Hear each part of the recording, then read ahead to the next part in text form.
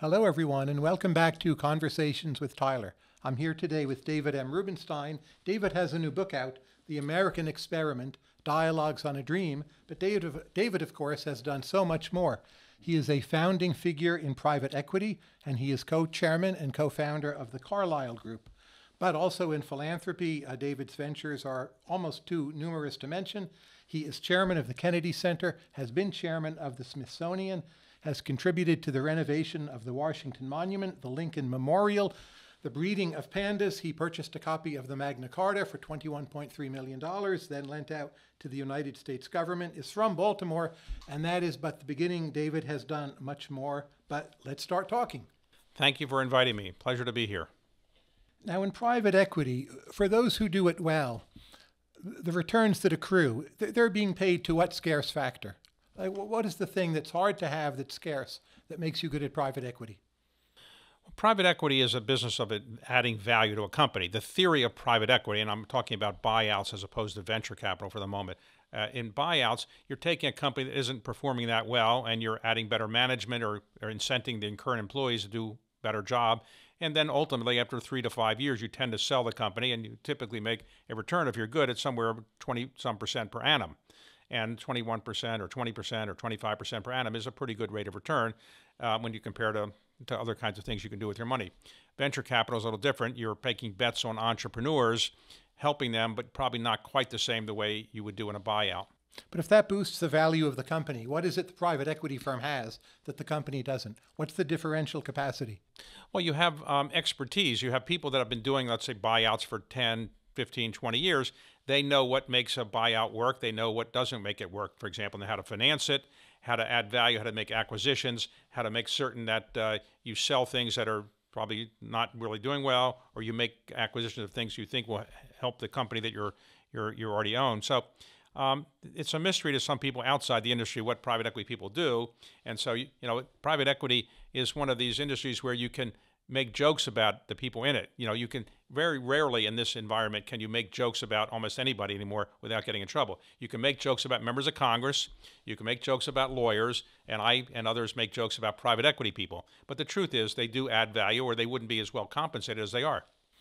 Private equity's been growing for quite a while now, right? Uh, more so than most kinds of finance have been growing. And the fee structure of 2 and 20 I mean, where does the 20 come from, and why isn't the 20 declining more rapidly? Well, it is in some respects, and let me explain. Uh, first of all, the market, and you're a market economist, so uh, people are getting 2 and 20. It's because that's what the market will uh, say is appropriate. It's not as if people are being pushed and forced into paying people 2 and 20. Nobody's being forced to go into these funds. Uh, where did the 20% come from? Well, I'll give you two examples of where it may have come from. When Venetian ship owners would send their ships to Asia to get spices.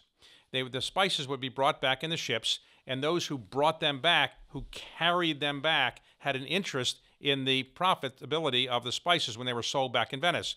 They had a carried interest, in effect, and that was roughly 20%. That may be where it came from, but also when the first hedge fund was set up in the mid, the late 1940s, the person who set it up actually said, I'm going to add value. I'm going to do more than just manage it. I want a percentage of profits. I want 20%.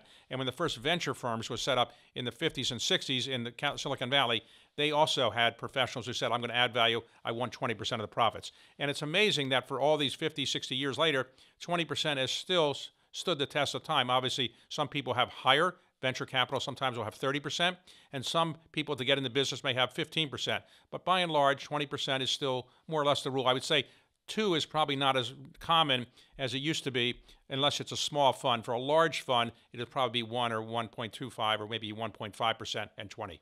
If we look, say, at mutual funds, there's a lot of entry and the cost of intermediation falls. There's Vanguard, Fidelity, lower cost than what there used to be. What's the barrier to entry in private equity that keeps that number at 20? Well, one, you have to raise money, so you have to be able to have some track record to be able to convince people to give you money. It's a lot of money. And remember, you're asking people to give you money not for a day or two or three, like in a mutual fund, but for 10 years theoretically, these are 10 year funds. You probably get most of your money back before 10 years, but they're 10 year funds. The barrier entry is not that significant. They're now, when I started Carlyle, there may be 250 private equity firms in the entire world. Now there are more than 10,000. So the barrier entry is there, but not that significant to keep people from coming in if they want to. You just have to come in smaller and prove yourself with a track record before you get to big funds. Why did private equity take so long to globalize? Well, why did anything take a long time to globalize? Uh, private equity has globalized as globalizations move forward. Uh, most private equity today is still done in, in Western Europe and United States. Probably two thirds of all dollars invested in private equity are in Western Europe and United States, the so called developed markets. It's now moving into the so called uh, emerging markets, but it's going to take a while because the, the environment is not quite as um, susceptible to private equity as it is in the United States. There's not the infrastructure, the talent, the financing markets, the exit markets are not quite as developed as they are in the developed markets. How would you contrast the skills of someone in private equity with the skills of someone in venture capital? Well, venture capital people are taking bets on entrepreneurs. You don't really know. When Facebook showed up, everybody passed on it except Accel. So it's obvious now that Facebook was a great company, but why did everybody pass? Because they weren't sure the concept worked. They weren't sure that Mark uh, Zuckerberg, right out of Harvard, or dropped out of Harvard was really appropriate to do this. So I, I think venture capital is a is a more of a bet on a concept, more of a bet on an entrepreneur. Whereas private equity, you you have six months typically to do the due diligence. You can project cash flows pretty readily. Because you have you know, previous cash flows from which you can base your uh, future cash flow projections. I would say it's a little bit more um, uh, scientific in some respects, less of a, a crapshoot than venture capital is. Why did you not decide to meet with Mark Zuckerberg way back when? Well, when my now son in law uh, told me about his classmate from Phillips Exeter and his then classmate from Harvard starting a company, I remembered the dating services that had been prevalent in uh, the 1960s and they all kind of went bankrupt. And so I thought this was described to me as a dating service, more or less, a way for people at Harvard to get to know people at other colleges and so forth for dating purposes. And that's actually what Facebook was. People forget it now, but it was only for college kids for a while. It, when they expanded it to non college kids, that was an epic change, but it wasn't really part of the original plan, as far as I know. So I didn't meet with them because in those days, I didn't really think of somebody who was a Harvard student was somebody that was going to be the next Bill Gates, and I just thought it was not likely to be successful. I was wrong. As you know, investment banks were once quite often limited partnerships, but now they're not. Is private equity going to undergo the same kind of evolution? And why are they limited partnerships now? Well, you say limited partnerships. You mean the way people invest in in, in the funds, or or in... well, there would be partners of a smaller investment bank, say the way Goldman was Okay. a long time ago, but now it's just a publicly traded company. Well, okay. So when you're talking about that concept, yes, there were fund firms that were private, and they were all privately traded. Morgan Stanley, First Boston, Goldman Sachs. Now there are very few that are there's privately owned. There's Brown Brothers, Harriman, and a few others that are still private. In the private equity world, most of the private equity firms are private partnerships. There are a few that are publicly traded. Carlyle, Blackstone, uh, KKR, Apollo, uh, maybe TPG will come public and so forth. Uh, uh, I think CVC is another one that's public. But generally, um, they are uh, privately owned because they're too small to be publicly traded companies. In other words, if you manage a fund of a billion dollars or two billion dollars, that's not likely to produce the cash flow that will make a public company seem really warranted for, for that kind of status. But why are they partnerships? There's a lot of smaller companies that are just privately owned, right? So law firms are often partnerships. What's the transactions cost advantage of having a private equity company be a partnership? Well, when private equity firms, you tend to get people who are fairly uh, in, hardworking, fairly smart, and they also have the ability to move quite quickly and go elsewhere. So if they were going to be working for one very wealthy person and that wealthy person wasn't going to give them a piece of the profits, they might say, I can take my skills and go elsewhere. So you tend to have partnerships because you want to share the wealth. And that's how you attract very talented people. If you had a very wealthy person, let's say Jeff Bezos or or Mark Zuckerberg, they want to set up a private equity firm to invest, and they're the only partner in it you can probably get some good people, but in the end, the really good people have the skill set will want to get a piece of the 20%. And usually, these large private uh, family offices don't give 20% of the profits to the people working there. So that's one of the reasons you don't tend to uh, get so highly talented people willing, willing to work just for a salary and a bonus. And typically, in family offices or or, an organization owned by one person, they don't usually give a, a piece of the profits, a very large piece of the profits, to the professionals there. What do you think is the best criticism of leveraged buyouts? Well, leverage always has its uh, downsides because leverage uh, implies that you're going you're borrowing money, and bar- when you're borrowing money, you have to pay it back. And sometimes when the economy goes down, uh, it's difficult to pay these back. Now, in the early days of private equity, they typically would borrow, this is hard to believe, 95 to 99% of the purchase price. The famous KKR deal was 95% debt and 5% equity. And some deals used to be 99% um, debt. Now you have maybe a capital structure of maybe 40% to 50% debt, and therefore it's not as likely you'll have a default. So the risk is not as great, but there's always risk in leverage. Whenever you have a meltdown in any economy, whenever there's leverage, there's going to be a problem because when the economy slows down, the leverage typically works against you. If you take in combined form the tax advantage given to debt and what is sometimes considered to be a tax advantage given to carried interest, does that mean our tax system is encouraging too much private equity? Well, some people would say you can, can't have too much private equity. I guess somebody in the private equity world would say that. Uh, there's no doubt that there's been a favorable tax treatment on carried interest, and, and, Congress is debating that again. It's been debating it for some time. The reason it probably hasn't changed yet is that uh, carried interest is applied to not just the buyout people and private equity, but it's also applied to real estate. And real estate is probably where 55 to 60 percent of all the so-called carried interest dollars are actually uh, paid. And there's a real estate developer and developers in every congressional district. So we'll see whether it changes or not. Um, you know, if it does, it does. Uh, Congress uh, has looked at it for, for a dozen years plus and hasn't changed it yet, but it might well this time. Are private equity firms now using insurance companies as a way of getting very cheap financing? Right? There's a lot of float. It's like with checking accounts. People just give them money. They don't expect very high returns. Well, a number of private equity firms um, have uh, bought uh, insurance uh, businesses uh, or have operating where they have, in effect, annuity contracts where they are, um, in effect, uh, managing the money to get a higher rate of return than the regular insurance company would get. So, if an annuity is supposed to pay out 5 or 6% a year, but you can manage that money at 10 or 15 or 20 percent, you have a big spread, and therefore a lot of the private equity firms are now trying to get some of this money so they can earn higher returns on it, and they don't have to pay out as high a, return as they would for somebody who's in their regular funds. And therefore, it can be an attractive business if you know what you're doing. But also, the insurance regulators have to be comfortable with what, making sure that you know what you're doing. Now, if you're with your friends or peers in private equity and you're debating the future of private equity, what's the most interesting question where you might disagree with them? Like, what is it you all debate? And are not sure about? Well, people will always debate what's the future of private equity. Is it going to grow as exponentially as it has over the last 20 or 30 years? Secondly, will the carried interest 20%, will that survive or not? Or because of competition, as your first one of your earlier questions suggested, maybe that will go down. You don't know. Uh, will the rates of return that private equity people can achieve uh, be as attractive as they have been. Private equity didn't grow to this large size because of the charm and good looks of the founders, as you obviously can see. They grew to this large level because we've outperformed as a whole um, every other asset class over the last 5, 10, 15, 20, 25 years by anywhere from 300 to 500 basis points on, the, on, on average. The top quartile funds outperform by a larger amount.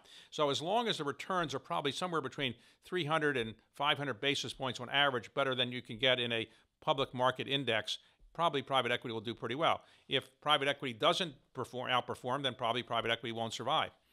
When you started Carlyle way back when, did you see that private equity would outperform the market for this long? Well, at the time, no. 1987, uh, the phrase private equity didn't even exist. They were called leverage buyouts, and it was a different world. Uh, the biggest phenomenon in that time was junk bonds, and that was what was enabling a lot of people to buy companies. It was a heavy use of so-called junk bonds at the time, and equity was not really that big a factor. You didn't have big equity funds the way you do today.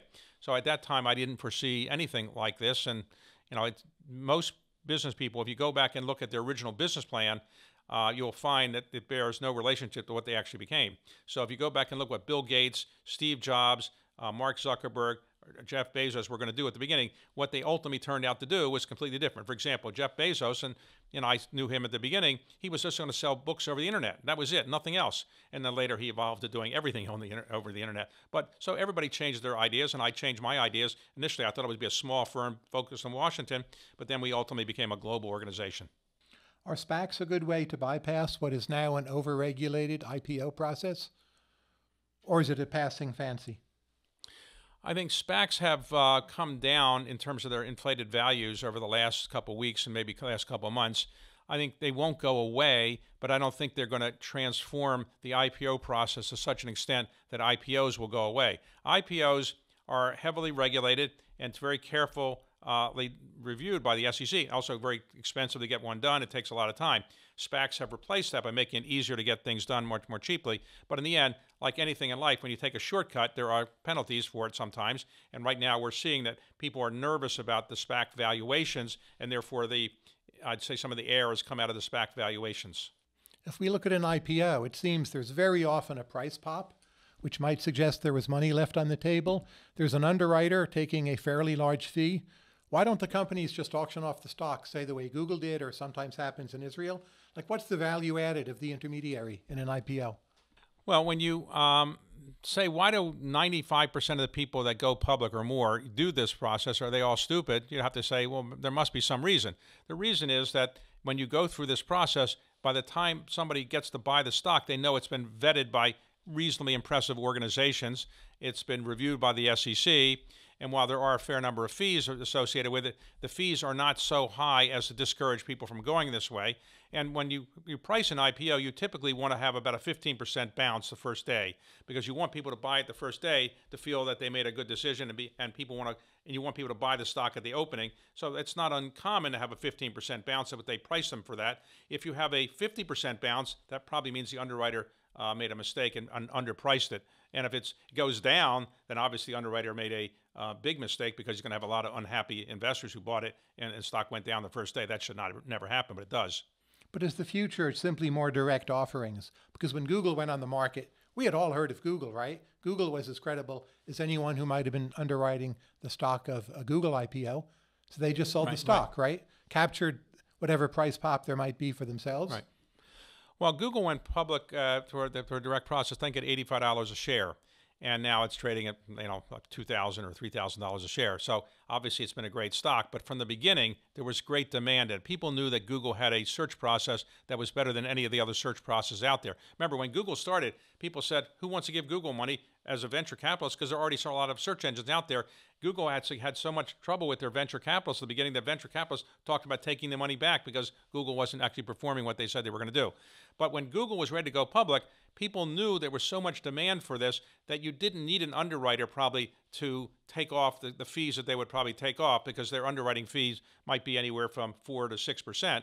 And I think the Google founder said there's so much demand, we don't really need to have the underwriter and take that spread. But there are very few Googles that are out there. The average company that goes public does not have the demand that Google um, kind of uh, had when it was going public. Does the financial sector draw too much talent away from the rest of the real economy? Well, I'd say the financial sector is part of the real economy. It's a large part of the United States economy, so there's nothing wrong with the financial sector getting uh, very talented people. Uh, but there are plenty of talented people in lots of places. So, academic world has talented people. The sports world has talented people. Lots of talented people in, in many different areas. So, I don't think the financial service world is getting too many talented people. I think that most talented people right now are probably a lot of those people who are going into entrepreneurial startups, which you could argue that's financial, but they're basically they're entrepreneurs. It used to be people wanted to go to Goldman Sachs or Blackstone or Carlyle or or McKinsey. Now a lot of people coming to the best colleges, they want to start do a startup. What fraction of the financial sector do you think is zero sum? You mean doesn't produce any value? Right, but it's just a race to get there first. Like some people would say, high frequency trading, that's zero sum. May or may not be true, but what do you think is zero sum? I'm not sure I would know exactly what is a zero sum in terms of the, the way you're, you're, phrasing the question. What do you mean that is no not- value added, but you get profit, someone else takes a loss. You have talent diverted into seeking of rents, not producing anything that a consumer ever uses. Well, of course, uh, those people that don't like private equity would say, well, private equity people is a zero sum. They're not adding any value. I don't agree with that. I think they do add but value. But you lower costs and you boost share prices, right? At least on average. Right. Well, you know, I don't think anything that's zero sum will survive very long. Um, you know, you could argue that cryptocurrencies are they a zero sum or not? Some people think that they're complete um, zeros and they're worth nothing, and people are, are buying these things uh, at, at their great peril. Other people think that they actually provide a service where people don't want to have U.S. currency or other foreign currencies. They have something on the side that's a different kind of currency. You can argue that for some time. Right now, we don't know whether it's a zero sum game or not. What do you think of crypto? What's your best guess? My view is that the genie is out of the bottle, and it's too late for the U.S. government to say, don't do this anymore. Remember, we went through prohibition and we said people don't drink alcohol, it's bad for you. And we it didn't really work out. So if we were to ban cryptocurrencies, people will find a way to create cryptocurrencies offshore or some illegal way to do it. People don't trust the government as much as they used to. And secondly, I think that that there are there is money to be made uh, in the cryptocurrency world if you're careful, you know what you're doing. But I've not bought any cryptocurrencies. I have invested in some companies that service the industry. And what I say to people is I analogize it to gambling. If you are a gambler and you go to uh, Las Vegas, you know you're going to lose money if you spend enough time there. You don't care because you're having fun. You really like the setting, and it's just it's your pleasure. Um, the same thing is true with crypto. A lot of people like to be seeing the, the oscillation of these cryptocurrencies. They like to hear about it. They think they're the new wave of what's going on. So they buy it. And I say, if you want to do that, just make it like it, you do if you go to Las Vegas. Put one or two or three percent of your net worth in. Have fun watching the stocks go up or the currencies go up and down. But don't put in 50% of your money because I think that's likely to be a fool's errand. If you look at the payroll of the New Jersey Nets in the NBA as a private equity guy, the New York Nets, the Brooklyn Sorry, Nets. now it's the Brooklyn Nets. Yeah, you see, you have a New Jersey bias. Correct, I do. I still do. But what, what do you think? Do you think the team's overrated? Their costs are too high? They need a leveraged buyout, or do you think Well, I'm fine? about to go interview Joe Tsai soon, so I don't know if I will inter- ask him whether his team is overrated. Um, look, in that business, uh, unlike many other businesses, it only takes one or two or three players to make a championship team. So in baseball, you probably can't win a championship or football with just one or two really great players. In basketball, you can, and so you probably can't pay these people too much. And you know, as you know, there's caps on how much you're allowed to pay people in basketball, and they have these maximum contracts. I would say um, very few people I have known, and I know a lot of people who have bought sports teams. Very few people who have bought sports teams have lost money owning those teams. You typically make the money when you sell them. Now, are are the players overrated or overpaid? Man, it's hard for me to say that anybody's overpaid um, if they're they're filling the, the arenas and so forth, and they they have unique talents. So in Kevin Durant's case, he's a unique talent, a very unique talent, one of the best basketball players of the last 20 or 30 years. So I don't know you can overpay him. And Kyrie Irving, you know, he went to Duke, so any, you can never overpay anybody that went to Duke, is my my view. if he gets vaccinated. Um, well, we'll see whether he gets vaccinated or not. But uh, and James Harden is obviously an incredible uh, triple threat. So I don't know that they're overpaid. But you know, right now I think the owner is pretty happy with the team that he has. He wished he'd won a championship last year, but he thinks he will win one this year. How has learning to be a great interviewer made you a better investor? I, am not saying that it, ha- it has. It may not have. Uh, uh, you know, if you want to be great at something, you got to spend a lot of time at it. I'm spending a lot of time doing interviewing, so I'm probably not a great investor so much. Now, what I've done is in the investing world, I was never the investor at Carlyle. I was always the fundraiser, the strategist, uh, the face of the firm, and the recruiter. Um, I had other people actually knew how to invest better, so I would sit on the investment committees and give my points of view, but they weren't really relying on me. I've set up a family office, and I've hired some pretty good people to invest uh, my money outside of Carlyle without being in conflict with Carlyle and I look at what they're doing and they, you know, tell me about what they're doing, but I'm not the day-to-day investor. So I'm not sure in interviewing has made me a better investor, but you're doing a lot of interviewing. It might make you a better investor. I don't know. What is it you think you know about recruiting of talent that is not obvious and other people might not know? Well, when I recruit people, and I, I, have now been doing this for many years, I generally have certain biases, and my biases are ones that have generally proven to be right, but sometimes I'm wrong.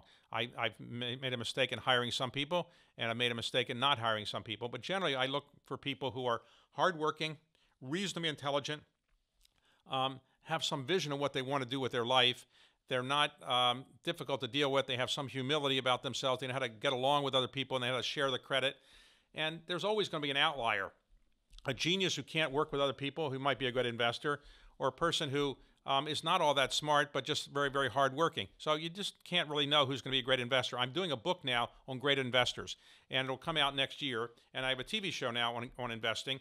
And basically, I, I found that the great investors all have in common, you know, a pretty good degree of, of IQ, a pretty high degree of IQ, but it's focus and it's a, a, desire to prove that they're right about something as opposed to making money. In the end, making money, once they become a great investor, they've got enough money for their real purposes. They just like the game of investing the way you might like the game of betting or some other game. So there are many different qualities that great investors have. I wouldn't say that I have them, but I've observed other people having them. What does Wall Street least understand about Washington? Well, Washington is relying on Wall Street, and Wall Street is relying on Washington. It's a bizarre uh, symbiotic relationship. People on Wall Street say, Well, the debt's not so bad because uh, you know people in Washington they keep passing these bills and they must know what they're doing down there, or the Fed wouldn't allow this to happen, or the Treasury wouldn't allow this to happen. People down here are saying, well, the Wall Street markets, these people are good investors. If we were borrowing too much money, the markets would collapse, and they're each relying on the other. And so, um, I, at this point, I think what Wall Street doesn't really understand about Washington is that Washington basically um, isn't all that sensitive to what's going on in the markets unless there's a gigantic collapse. Then they pay a lot of attention. But generally, day to day, people on Capitol Hill and the White House are not focused on the markets the way that a professional investor might be. They, the ups and downs and oscillations don't bother them as much unless there's a gigantic collapse, of course. What does Silicon Valley understand least about Washington? Well, Silicon Valley historically didn't pay much attention to Washington, and they, therefore they had very few lobbyists here. They had very few people to tell their story. Now, I think the biggest lobbyists here are the technology companies, Google, Facebook, uh, Microsoft have gigantic lobbying operations now because they realize that the government of the United States can uh, impact their businesses in a way that they didn't probably realize when they first started these companies. But what is it they don't understand now, still? Right? It's not in their cultural blood, so to speak. So they throw resources at the problem. Do they understand how DC works? Well, I think they don't understand that it's it's in, in technology, whoever has the better technology might ultimately prevail and therefore merit is ultimately thought to be the ultimate important factor. Who has the best software, who has the best hardware, who has the best process for getting something done. In Washington, D.C., the merits are not necessarily the most important thing. It's the politics that are much more important. And so sometimes if somebody from Silicon Valley comes to Washington and says, I have the best software, look what it's doing for America, it's great, we're selling a lot of services and people are living better because of it, that may not mean much to people in Washington if some people are complaining all the time because the prices are too high or something like that of the product. Should we let members of Congress, or for that matter, regional Fed bank presidents, trade equities and securities? Well, there were two Fed uh, bank presidents, the one in Boston, one in Dallas, who uh, managed to uh, do that, and uh, they've now resigned. But it wasn't illegal, right? Like they were it, allowed to do it. It was not. It's not illegal, and it's not illegal, as far as I know, for the chairman of the Fed to do that. It's not illegal for the president of the United States to do that. It's not illegal for members of Congress to do it either. You have to disclose it, but it's not illegal. But should it be illegal? Well, I'm not sure that uh, in all cases it should be illegal. Remember, we are asking people to work for very, very modest uh, incomes, and uh, if they are they supposed to put all of their trust in a complete treasury bills and that's all they have, you might get fewer people coming to government service if they, they could only get treasury bill rates of return. That's say S and P 500. They can get a, a, blindly managed mutual fund. I think that would be better. Um, rather than doing uh, the stock trading yourself, I do think it's better if you were to go into a, a mutual fund or things like that. Like the chairman of the Feds, typically they they have uh, you know somebody like a, a, a, mutual fund, or they might have T bills or things like that. But I, I think it's better to not be trading when you're in those positions. Yeah, I do think that's true. Here's a reader question, and I quote. Another impolite question. Why is it that so many politicians and their aides and their wives, children, cousins become wealthy in the private sector? Well, the private sector is designed, among other things, if you want to go into that area, to make money. So, and it's not that difficult to be wealthy by the standards of government compensation. It, it, if you're a member of Congress, your compensation is roughly $180,000 a year. Hasn't changed much for about 20 years. So, if you go into the private sector, it's difficult to make less than that if you're really doing something in the private sector that adds some value.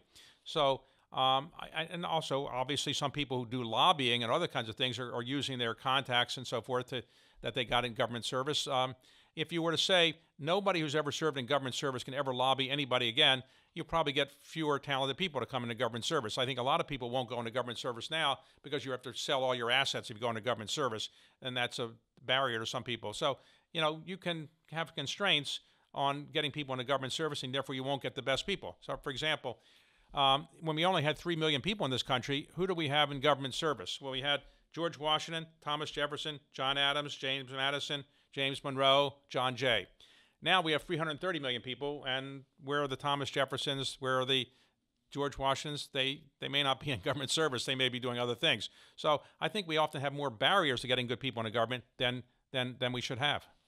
I'm under the anecdotal impression that in the 1960s, the 1970s, the smartest young people were more interested in joining the DC elite than is currently the case. Do you agree? Uh, Well, when John Kennedy became president, he had a clarion call to young people to come in and do government service. He was a young man; he was 43 years old, and his cabinet was relatively young. And and yes, it was a time where it was pre-Vietnam and pre-Watergate, and so there was much greater uh, belief that what government could do was good, and there was much much less cynicism. And the government of the United States didn't have the credibility gap that it developed in Vietnam and Watergate and so forth. So I think yes, it was a time where there was a lot of interest in young people coming to government service. Uh, today, a lot of the best young people they want to go and be entrepreneurs, or they want to you know be cre- create uh, you know things in, in Silicon Valley or be a venture capitalist and so forth.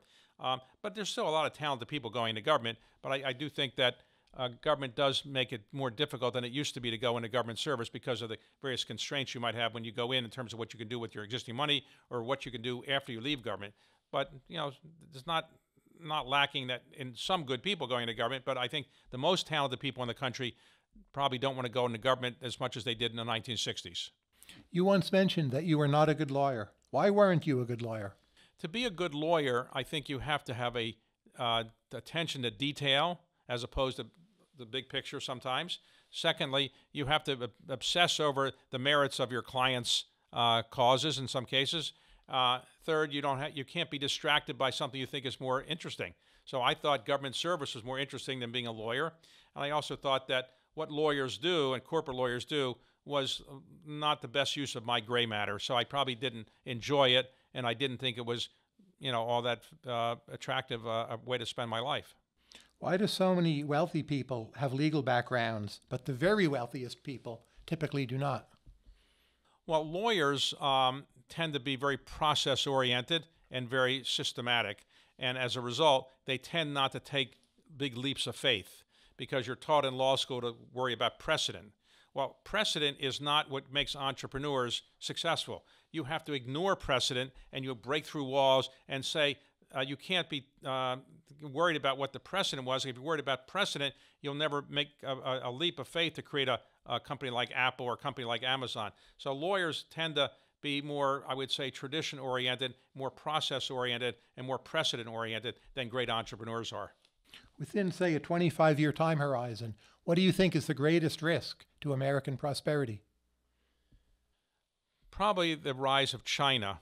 Uh, China is a bigger population than we have by three times.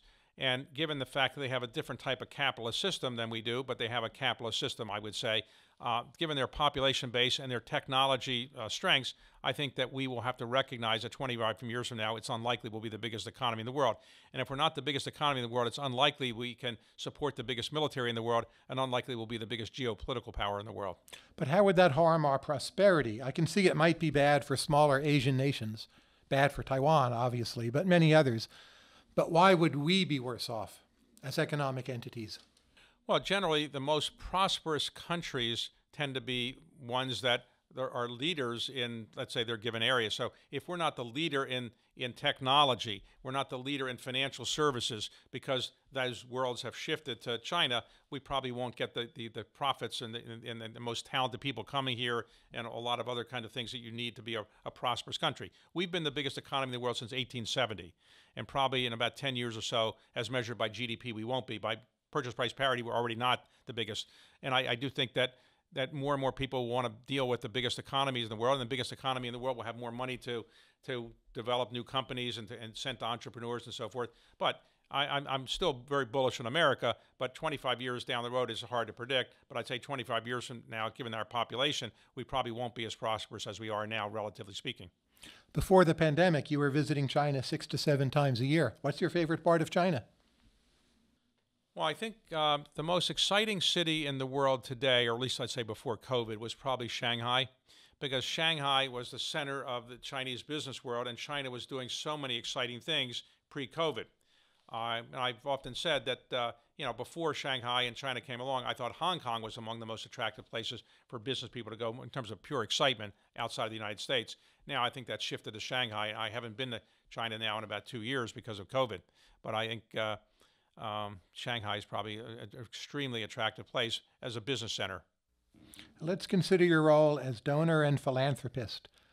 Let's say, and maybe you've even done this, you had $200 million to allocate to Baltimore to make it a better city. right? It's not enough money to be transformative, but it's not a, a tiny sum. How would you spend it? Well, Baltimore has serious problems. When I was growing up, it was the, it was the eighth largest city in the United States with a population of 939,000. Now it's about half that size. So uh, you've had a, a, uh, a, white flight. You've also had um, the business headquarters have largely moved out of Baltimore. There aren't that many headquarters there compared to what it used to be. So what would I do with $200 million? Well, $200 million, as you suggest, is not 2 billion or 20 billion. With $200 million, I, I guess I would put some of it into education because Baltimore has a very high dropout rate in high school and also has a very high, um, I would say, uh, illiteracy rate. It has a high syphilis rate. It has a high uh, STD rate. It has a, high uh, murder rate. So I don't know if the $200 million would solve all those problems, but if I could do anything to help Baltimore, it would probably be to use some of that money to incent businesses to come back into Baltimore and give them some incentives to come back in. Because if you get business to come back in, they'll hire people, and ultimately that will help out. But you've got to deal with the education system. If you have uh, a large percentage of your population that's functionally illiterate, that's going to produce a lot of crime, and it's also going to produce a lot of poverty. There was a time, I think in the 1990s, when the word was, well, Baltimore has come back. There's the aquarium, the waterfront has been refurbished. And somehow that all didn't materialize. So it, it, the momentum looked good for at least five years. What actually do you think went wrong? Well, Baltimore renamed itself Charm City under Mayor Schaefer. Mayor Schaefer was a, a very dynamic mayor, um, but he uh, he couldn't control white flight, um, and therefore the city um, wealthiest people moved out, and the biggest companies in Baltimore moved out. And so, in the end, I think crime just took over, and the poverty rate just accelerated, and uh, just so many endemic problems. And uh, Baltimore did not have entrepreneurs coming there starting new companies, um, and it didn't have the kind of uh, revitalization of uh, the entrepreneurial spirit that you saw in some cities which, which had gone through difficult times. But take Pittsburgh as an example. Pittsburgh used to be a steel center. Now people see it as an artificial intelligence center or as a computer center or as a city that's remade itself in many ways. Now, it didn't have quite the minority population that, that Baltimore did, but it, it in many ways um, has revitalized itself. And some other cities have not been able to revitalize themselves. Take Detroit. Detroit is also like Baltimore, enormous uh, socioeconomic problems. And despite the best efforts of some pretty talented business people there, um, uh, like Mr. Gilbert, they, they just haven't really been able to revitalize themselves to the point where they were in the 1950s, let's say, as a leader. Where do you think your marginal dollar does the most social good? Being paid to government in the form of tax, being invested through private equity at a reasonably high return, or in philanthropy? Well, philanthropy, because um, when I pay taxes, and I do pay a fair amount of taxes, uh, uh, when I pay taxes, like you know, it goes for good purpose, I guess, but it's hard to know whether I'm paying enough taxes to make change the world, um, and nobody knows exactly what I'm paying. Uh, when I do private equity, lots of people are doing private equity, so I'm not sure I'm changing the world that much there. When I make a philanthropic gift that gets attention, it might inspire people to do something. So if I fix the Washington Monument, you know, might encourage other people to do something with the same kind of dollars or the same kind of uh, motive in mind, which is to say, I'm going to give back to the country in that way. And it gets more attention than maybe it deserves. The bulk of my money goes to medical research and education and scholarships, but 10% goes to what I call patriotic philanthropy. Uh, so fixing the Washington Monument gets a disproportionate amount of attention, but it might incent a large people, number of people to really do the same things, and that would probably be good. But you seem to be in good health. What if someone makes the argument to you, you would do the world more good by not giving away money now, but investing it through private equity, earning whatever percent you could earn, and when you're a bit older, give much more away? Right? You can always give more to philanthropy five years down the road. Well, of course, you never know when you're going to die, and COVID, uh, you know, we lost 700,000 Americans in COVID. I could have been one of them. I'm 72 years old. So if you wait too long to give away your money, you might find your executor giving it away. Uh, secondly, um, but you could even write that into your will, right, if you wanted. But you'd have more to give away, maybe 15% a year. Yes, but if you if you take the view that happy people are live longer, um, and if giving away money while you're alive and you're seeing it being given away, and that makes you happier, you might live longer. Grumpy people, my theory is, don't live as long happy people live longer. So if giving away money and having people say to me, you're doing something good for the country makes me feel good, it might make me live longer. So if I waited till the last moment to give away the money, it might be too late to have that feel good experience. Do you think the foundations of other very wealthy people, after their deaths, have gone well or gone poorly? Like anything in life, there are good thing cases and there are bad cases. Some people have done really good things with their foundations after they died, and some people's foundations probably haven't been as productive. Um, but I would say, uh, in the end, I encourage people to give away as much money as they can while they're alive. I am amazed that probably 99.9% of the population gives away about 95% of its money upon their death. You kind of say to yourself, why are you waiting so long? I remember, I won't mention his name, but a very famous businessman uh, said, I'm going to give away, when he was 93 years old, I'm going to give away $400 million to my college upon my death. You kind of say, well, what do you need that 400 million between the age of 93 and 94, 95? Why don't just give it away now? I don't understand why people wait until they're dead before the money is given away. You presumably think you're going to be in heaven and see where it's going, but that's a big risk. How do you handle or filter what, what must be a steady stream of solicitations and requests? Money, money, money, right? Everyone wants money. How do you actually process the near I- infinite yeah, demand? I don't have the the, uh, the the money that Bill Gates has. I asked Bill the same question now. I said, Bill, everybody's coming here for money all the time. He says, I have a lot of people that are, are hired to say no, so they don't really get to him so easily. I don't have a foundation. I don't have anybody doing my philanthropy, so everything comes directly to me. I have four standards I use though. Number one is I want to see something with my money uh, started that I would otherwise get started, like or second, something that would wouldn't otherwise get finished. Or third, I have an intellectual interest in it, so I think I will stay involved and I just won't write a check and ignore it. And fourth, I'm likely to see progress uh, in my lifetime. So those are my standards that I use. And, you know, I'd like to be involved in the things I'm doing as well. But, you know, in the end, uh, I've made some mistakes in philanthropy and some things have worked out well. Would you agree with the judgment that today art museums are less culturally central than they used to be, and they need to do something to remedy that? Well, I was elected earlier today the new National Gallery of Art chairman. So it- Congratulations. it, would be unlikely for me to say that art museums are not relevant anymore. No, I think art is an important part of society, and for you know, from time immemorial, people have been painting and doing other kinds of uh, visual arts, and I think people's brains get get improved by vi- seeing what people have done with their creative skills. So no, I think art museums and all museums are good, and this is the reason. The, the human brain has not yet evolved to the point where if you see a picture of the Mona Lisa on a computer slide, it's the same experience as going to the Louvre and seeing it in person. Because before you go to the Louvre, while you're there, and afterwards, you're more likely to read about it, you're more likely to learn about it, and I think when you do that, you're more likely to have a better human experience than just looking at a computer slide. So if you eliminate all museums and everything was on a computer slide, I'm not sure that'd be a good experience for people. Should the National Gallery have canceled it, its pending Neapolitan Baroque exhibit? Well, um, we've had a lot of issues because of COVID and, and so forth. So we want to make certain that people can attend. And But I've um, been going to the National Gallery. It, it more or less works. Other museums are putting on the exhibit. People worked for years on it, and then to You mean the the the the uh, the, the um, Guston? Um, not the Philip Guston. what? Not that Not one. that's being postponed. Yeah, that's but there was an exhibit planned, great Yes. Baroque works from Naples, that was supposed to happen. And National Gallery a month ago, I'm not sure, but Right. basically just said no, we're not going to do this.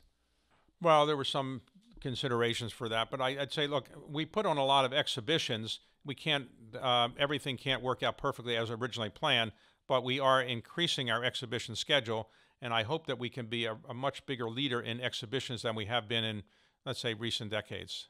And what is personally most important or closest to you in the visual arts? Well, the most important thing is having people appreciate the arts. No, but what artist? What what Oh, what, what? excites you to look at what? Well, I mean, I, there's so many different types of art, but I'm looking uh, increasingly. I'm collecting artwork done by um, um, minority um, artists. The National Gallery of Art historically has been a Western art museum, but it hasn't really, um, you know, had very many artists who are women, very many artists who are minorities, very many artists who are African American, very many artists who are Latin American.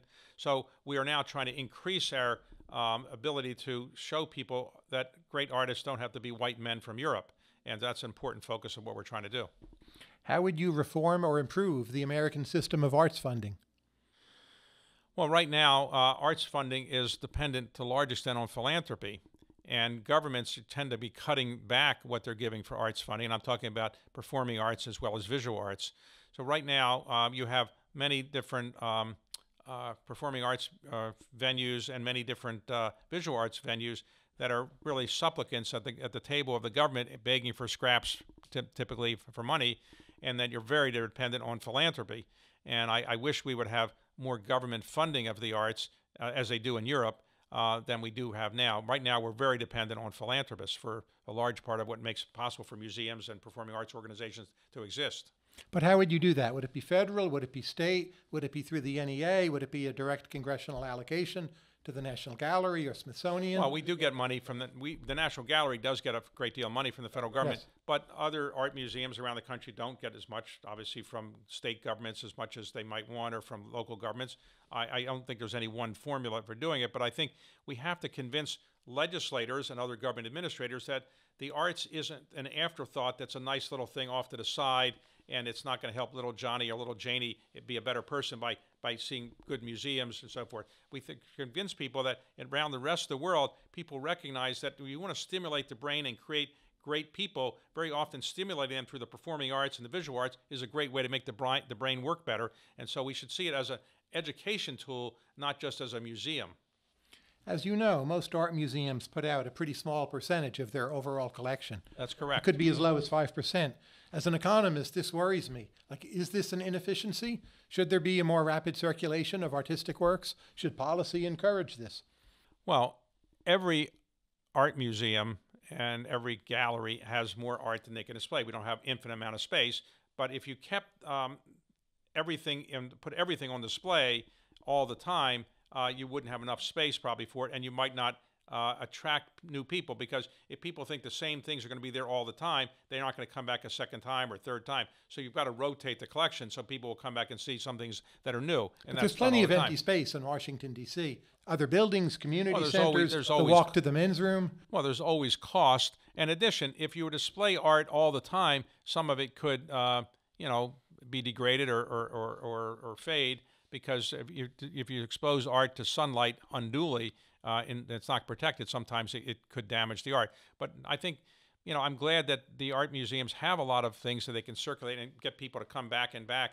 But yes, there's always space, but there's always money to build that space out. It's, it's not uh, insignificant. In terms of your time management, obviously you get a lot done. What is your most unusual time management habit?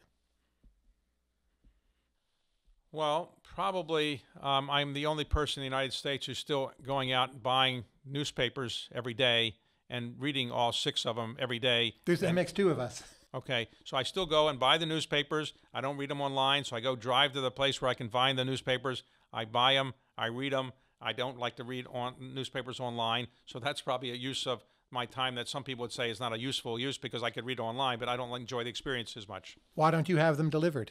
Which is what I do. because I travel a lot, and so I'm, you know, it's, you know, I'm, I'm different places, so I'm not in the United States. I'm not in my home that much. At what level of wealth do you think you are happiest? You know, Felix Rohatyn, an investment banker, used to be famous investment banker, later became uh, ambassador to France. When he was asked once, how much money does it take to make you feel financially secure, he said, is exactly twice whatever you actually have. So that's probably true. No matter what wealth you have, you always think you need a bit more to be financially secure. So I have more money now than I ever thought I would have when I was younger, and more money than I probably need to, to get through the rest of my life. So I am uh, very fortunate, but I, you know, still think that I would like to have more money so I can give away more money. I'm giving away all my money. I just want to give away more. It is my intuition that the billionaires I know are quite different from the multimillionaires. What do you think actually makes that difference in terms of temperament or character?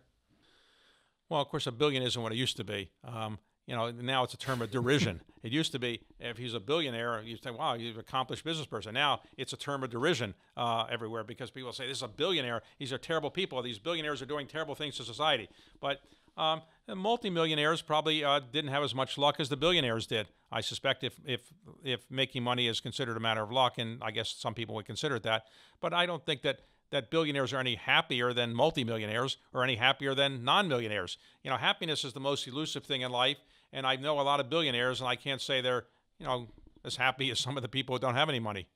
But isn't there some difference in persistence between the billionaires and the multimillionaires that's not just luck, or no? Well, there's persistence is necessary if you're going to be successful in almost anything in life. and some of the billionaires had lucky ideas and they persisted. But there are a lot of multimillionaires who said, look, I, I have a good idea and I've made a company work. I now worth $100 million, but I want to spend my time doing other things. So it's not always the case that people feel they have to make a billion dollars in order to feel successful with their life. Now, you've been a major donor to a number of very well known universities. Uh, if it were all up to you, how would you fix higher education? What would you change?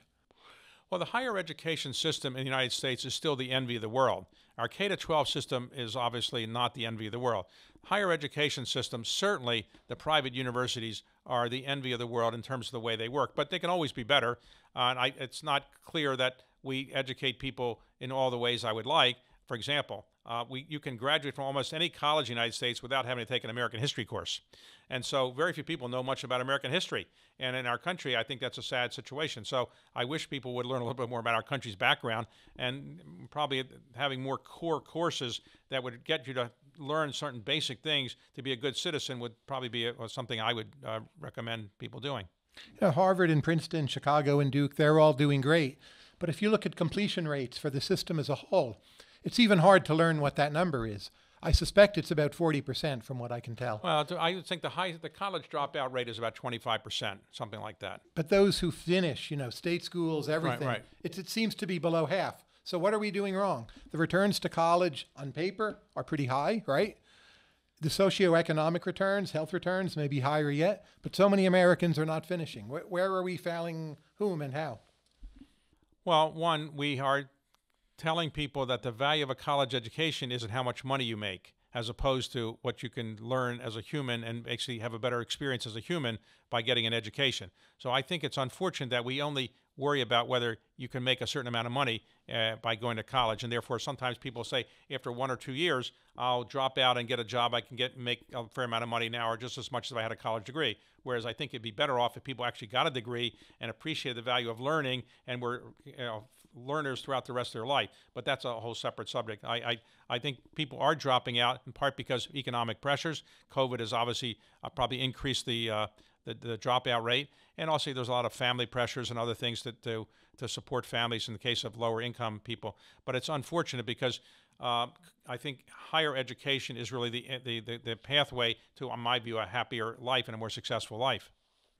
If you look at data on college professors or even incoming students at Harvard, it seems they're, they're very left wing and they're much more left wing than they were before. Now, one might even be a Democrat or have left leaning sympathies, but it seems the system is somehow out of balance, right? I mean, what went wrong and how do we fix that? Well, your presupposition is that there, there's left wing. Left wing is a pejorative term. You might no, you, you could use the it term what you want. liberal or. But uh, I don't know that they are liberal anymore, right? Well, well, also, you have to remember the Ivy League schools that often are the ones uh, seen as being too, quote, liberal or left wing, they are a, a tiny part of uh, the country's education system. So if you go to Kansas State University or Oklahoma State University or the equivalent in the Midwest, I'm not sure the students are quite as left leaning as you might think. So, on the whole, um, you know, remember the country's kind of split down the middle politically left and right, and I suspect college populations throughout the course of history, college students have probably been slightly more liberal um, than they are when they are in 50s or 60s. It's just the normal course of life is people tend to be quite a little bit more liberal when they're younger than when they're older. When you interview someone, how do you prepare for that? What do you do? Well, the person has read a book, I've written a book, I read the book, and then if um, you know a person hasn't uh, uh, written a book, I will read everything that's written about the person over the last year or two. I gather it up, and then what I do is I write up some questions, and then I kind of memorize them a bit and sort of work my brain so that I can have the conversation with the person without you know referring to the notes so much. My my style is not to do that, but um, you know I try to listen to what the person says remember that uh, you know being a good interviewer means good being a good listener, not just a good questioner. And I also think you, know, you have to engage the person and get the person to loosen up and make the person feel this is a good good experience and all those kind of things. And it takes some time to do that. And I've now been doing it for a number of years, so I developed the skill a little bit. And I've been surprised at how many people think the way I do it is attractive and unusual or, or, or fun to watch. And it wasn't something I was trained to do, but something I've evolved into. What's your favorite book? Well, uh, my favorite book of all, I would say, uh, other than the ones I've written, I, I guess I would say, is uh, the Bible. Because if you were going to be in any one place and you only have one book. The Bible is basically has the, the, story of about humanity is more or less throughout all the all the book. And it's probably if you're on a deserted island, you're going to have one book. You probably would get the most out of the Bible, would be my guess. What is most appealing to you in the Magna Carta? Well, the Magna Carta that I own is the only one in private hands, and so and whenever you can have something that's unique, um, that's attractive. It was going to leave the country most likely, so I kept it in the country. But what's most important about it, it was the inspiration for the Declaration of Independence. It had a bigger influence in this country's history than honestly it did in England. In England, it was ignored for quite some time, but in this country, um, it, it, people when they when they got charters from the the king of England, the charter said, in effect, you have the rights of Englishmen, which meant the rights of Magna Carta. And so when the revolution started, people started citing this as the rights of the Magna Carta. And this was often said to be the kind of thing that inspired the, the, the revolution. So I think it's, a, it's the forerunner to the Declaration of Independence. Are there any changes you would make in our Constitution? Yes, when you think about it, the Constitution was put together by, you know, more or less 55 white Christian men who were property owners. If you had a constitutional convention today, that represented today's population and and and they had more gender diversity than they had then, it would obviously be a different kind of thing. But if I could do anything, uh, make any one change, um, I would probably uh, put the Equal Rights Amendment in. While I'm not sure it's necessary at this point, given the way the law has evolved, I do think it would make many people feel better, uh, more included. And I, I, think it probably, you know, it only came one state short of a ratification. I think I would probably amend that. Should we have a larger House of Representatives? I've never been asked that question before. I would a smaller one. Um, as you know, the First Amendment to the Constitution, as proposed in the Bill of Rights, would have actually had a House that would now be like 10,000 members. If that First Amendment had, had been passed, it wasn't approved by the states, it wasn't ratified. Um, I think 435 is more than enough. Um, you know, you could argue for shrinking it a bit um, because right now it, it is very large, but I, I wouldn't certainly enhance it. I think it'd be too big. Living or dead, whom would you most like to interview? Well, it's an interesting question. Uh, the phenomenon that we're engaged in now, which is an interview, is a phenomenon that didn't really exist throughout most of organized history. So we don't have any interviews of Cleopatra, Charlemagne, Alexander the Great, uh, Napoleon, William Shakespeare, or William, or, or, or, George Washington, or even Abraham Lincoln. If I could interview anybody that's ever lived, um, it would be Abraham Lincoln. I think he was the greatest American and I think he was the kind of person that would be an interesting interviewee. He had a good sense of humor. Um, he had a, a good, pretty good perspective on himself, and he did some things that I think were pretty impressive. If I look at your books of interviews, all the different people you've interviewed and online, it's striking to me there are relatively few what you might call weirdos in the group. So in your new book, there's Ken Burns, there's Madeleine Albright, uh, there's Wynton Marsalis, but someone just out there, right, Who, who's radical or different or not well known. Why not interview more weirdos? Well, I, I interview people I usually know, um, and I've had some relation with. I don't probably know as many weirdos as maybe I know normal people. Um, but they would accept the invite. A lot of weirdos, like they'll accept my invites if I ask a weirdo. We we had a homeless guy uh, on this program. That was a good episode. Well, it's a good idea for another book, and maybe just I don't, I, you know, just weirdos, or I don't know, but I don't know if that book would sell as well. But um, you know, you could argue that a lot of people I've interviewed um, they were considered weird by a lot of people when they were growing up. They just, uh, as they got more famous, they weren't considered quite as weird. Who mentored you? Well, I don't know that any one person mentored me. I, I, have um, I worked for um, Ted Sorensen briefly a bit when I was practicing law. I worked for um, Stuart Eizenstat when I worked at the White House. But since I left the White House, I haven't had a boss. Uh, so I, I you know, I'm now 72, and I left the White House when I was 31. So I haven't had a boss for 41 years or so. So, but I've admired a lot of people, and I brought in a lot of people in my firm that I thought were very impressive. And two of them that I thought were extremely impressive were Jim Baker, former Secretary of State, and George Herbert Walker Bush, um, you know, uh, President of the United States, and you know, very impressive people. I got to know them, and I, you know, learned a lot from them. And what do you think you understand about mentoring that might not be obvious? Well, it it takes a lot of time. Um, I'm not a good mentor myself because I realize that to be a good mentor to people, you really have to put a lot of time into it. Now, a number of people have come to me later in their career and said, You were a mentor to me, but I think they're being polite. I may have helped them a little bit or given some advice, but being a mentor really takes a lot of time. Do you think a person should always have mentors, including much younger mentors? Well, a lot of people have been successful in life without having mentors. I think mentors can be helpful to you for sure, but I wouldn't obsess over having a mentor if you can't find somebody that's going to be helpful. Having a bad mentor can be not helpful.